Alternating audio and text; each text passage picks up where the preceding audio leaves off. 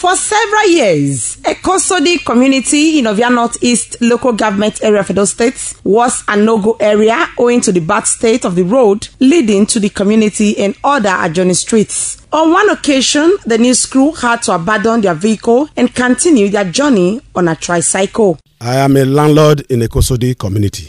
The, our roads here are very bad. I'm leaving the house now to town. I cannot use my vehicle. My vehicle is good. My vehicle is behind me right behind me in my house. I parked it over a year ago because of the bad state of our roads here.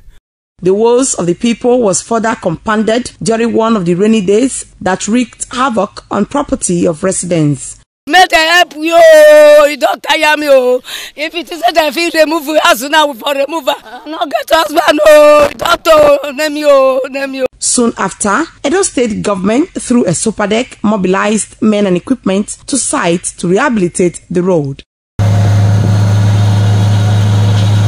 Some residents and tricyclists who have been at the receiving end described the completion of the construction of the course of the road and several adjoining streets in the locality as a Christmas gift to them. They said Governor Godwin Obaseki is synonymous with his nickname, the Wake and See.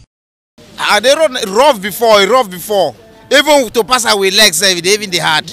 Honestly, oh. but for now we enjoy an express and an IP, so we are very happy. I thank Governor Obaseki uh, for the good work we don't do for Ekosho the road.